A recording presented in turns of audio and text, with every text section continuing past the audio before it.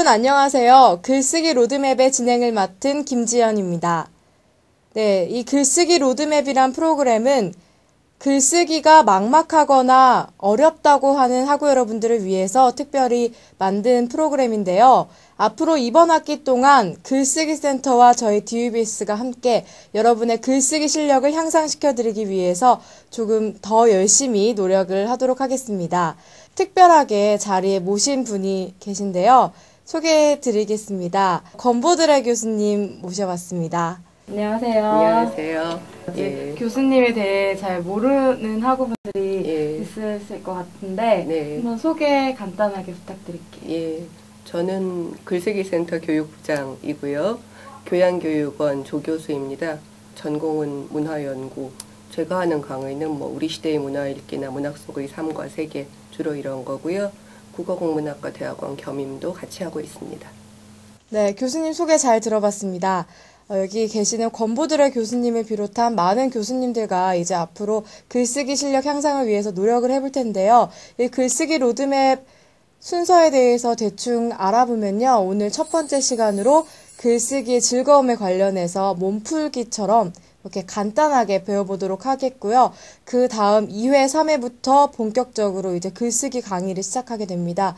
2회, 3회에서는 일반적으로 학교에 다니면서 레포트나 일반 보고서 쓰기에 관련한 프로그램을 준비되어 있고요. 이유기 교수님과 함께 할 예정입니다. 그리고 4회, 5회, 6회는 학우들이 많은 관심을 가지고 있죠. 취업 글쓰기에 대해서 서희원 선생님과 함께 알아보도록 하겠습니다. 예, 오늘은 그 첫 시간으로서 글쓰기 즐거움에 대해서 이야기를 좀 나눠볼까 합니다. 어, 그 전에 앞서서 교수님께서는 이 글쓰기 로드맵이라는 프로그램이 학우들에게 어떤 도움을 줄 수 있을까 생각하시는지 말씀해 주세요. 음, 이번에 마련된 프로그램은 실용적인 글쓰기를 중심으로 한 것이니까요. 보고서 작성법에 관심이 있는 학생들은 높은 학점을 받고 싶어서도 그럴 것이고 취업 글쓰기에 하- 관심이 있는 학생은 당연히 취업을 하고 싶다는 마음이 앞서겠죠. 그러니까 그런 실용적인 글쓰기를 잘 하고 싶은데 정말 어디서 시작해야 할지 막막해하는 학생들, 어, 어디서든 도움을 받고 싶다고 생각하는 학생들, 이런 학생들이 봐주시면 좋을 것 같습니다. 흔히들 학생들이 글을 쓰기 시작할 때 처음부터 막막하다라는 말을 많이 하잖아요. 네. 그런 부분, 그런 의미로 있어서 글쓰기에서 처음이 굉장히 중요한 것 같아요. 네. 어, 교수님이 생각하시기에 글쓰기에서 처음 부분에서 어떻게 해야지 글을 잘 시작할 수 있을까요? 음, 자기소개서 같은 걸 예로 들어보자면은 보통 제가 수업 시간에도 받아보면은 저는 단란한 가정의 일남 일녀 중 장녀로 태어나 이런 식으로 시작을 합니다. 그런데 60명 학생 중에 55명 정도가 같은 방식으로 시작을 해요. 이걸 어떤 사람이 읽을까? 어, 읽는 사람은 어떤 맥락에서 읽을까? 60개의 똑같은 글을 읽어야 되는 맥락, 혹은 심지어 몇천 장, 몇만 장의 똑같은 글을 읽어야 되는 맥락일까? 그렇다면 그 사람한테 내 글이 어떻게 비칠까? 첫 대목을 어떻게 시작해야 그 피로한 사람의 눈에 내 글이 띄게 할 수 있을까? 이런 점을 먼저 생각을 하셔야겠죠. 근데 시작하시기에 글쓰기가 막막할 때 시작하시기에 아주 좋은 방법 중에 하나는 단어 몇 가지에서 생각을 해보시는 거라고 생각이 됩니다. 근데 단어는 대신 구체적이어야 해요. 어, 자기소개서를 쓴다고 할 때 나를 잘 나타내는 단어는 무엇인가? 추상적으로 말고 구체적으로 다섯 가지 정도의 단어를 생각을 해보시고 그걸 가지고 짧은 문장을 만들어 보시고 이런 과정을 거치면서 생각을 조금 발전시키고 조직시켜 본다면 첫 걸음으로 괜찮으리라고 생각이 되는데요. 그러면 이렇게 단어를 나열해서 네. 전체적인 틀을 잡은 다음에 처음 네. 시작을 했으면은 네. 이제 중간 부분 본론을 채워야 네. 하잖아요. 네. 그러면 그런 본론에 있어서 가장 중요한 네. 그러니까 글쓰기에 있어서 네. 그 본론에서 가장 중요한 거는 뭐라고 생각하세요? 음, 지금 우리가 말하는 맥락에서라면 역시 읽는 사람을 생각해야 된다는 거죠. 취업 글쓰기 같은 경우에 뭐 읽는 사람이 몇백 장, 몇천 장의 서류를 며칠 안에 읽어야 하는데 그 안에 어떤 내용을 담을 수 있을까? 그럴 경우에는 특히 간단 명료 한 말을 먼저 앞세우고 하고 싶은 다른 말들을 부연하는 방식으로 쓰는 게 좋잖아요. 그러니까 이른바 두괄식 문장 같은 거죠. 명백하게 얘기를 먼저 하고 나중에 회사에 들어가서도 아마 기획서나 제안서 이런 걸 많이 쓰게 되실 텐데 그때는 그런 방법이 아예 정형화돼 있을 겁니다. 한 두 줄이나 세 줄로 의견을 요약하고 필요하다면 거기에 대해서 부연하고 이제 실용적인 글쓰기에서는 아무래도 이런 방법이 필요하겠고요.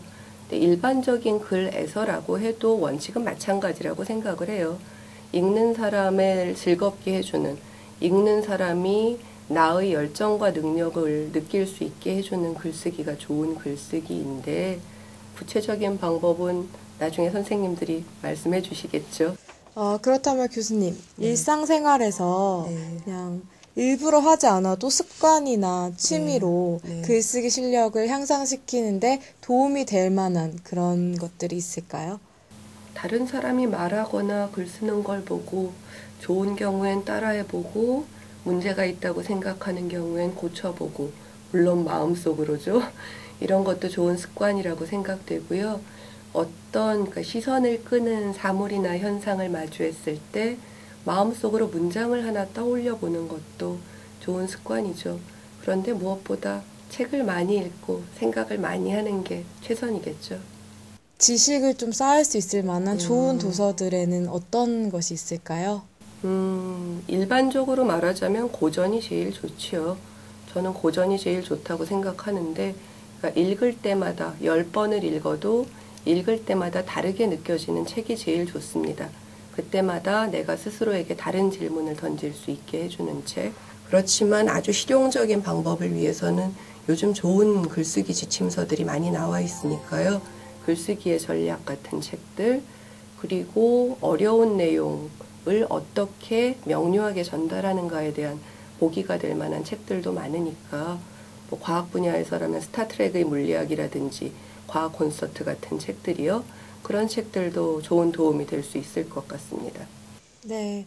그러면 이제 중간 부분까지 알아봤는데 네. 마지막 네. 글쓰기에 있어서 마무리도 또 잘해야 되잖아요. 네. 그 마무리를 할 때 어떻게 하면은 더 네. 이렇게 명료하게 잘할 수 있을까요?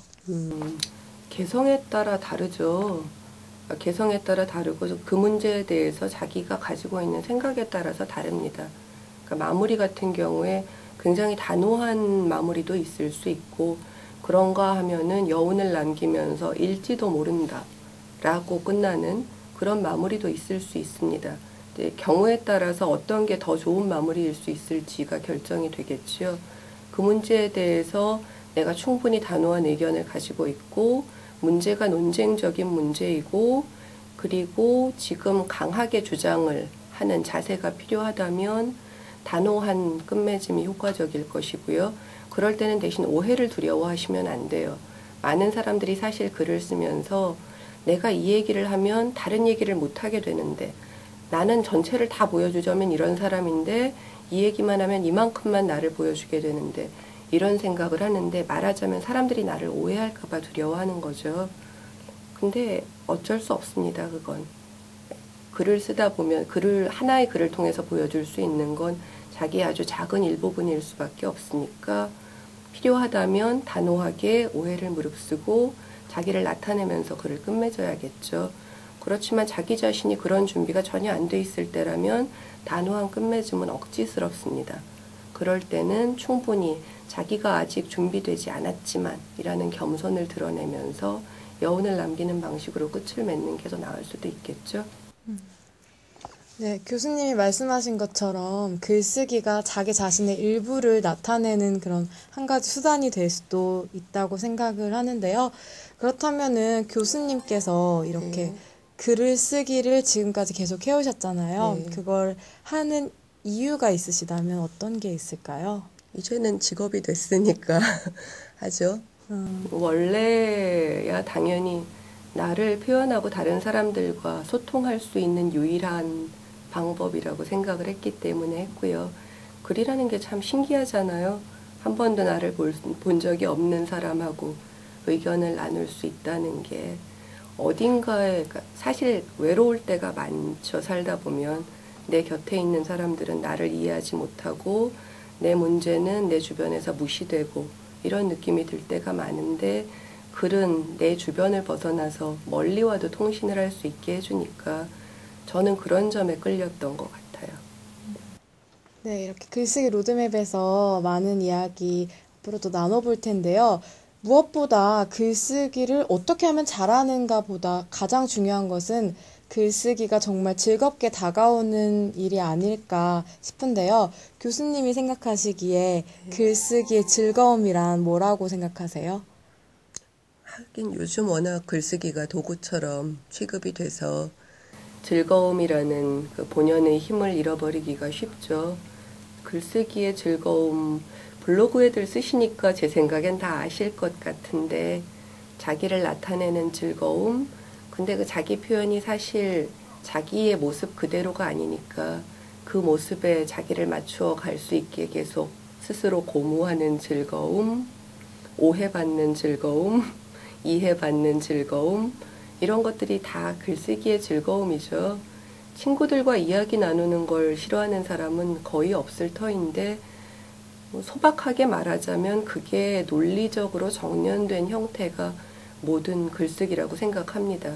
자기소개서 같은 경우도 사실은 자기를 표현을 하는 건데, 다만 많은 학생들이 오해하듯이 자기를 A부터 Z까지 설명을 하는 게 아니라 나는 당신이 필요한 바로 그 사람이다.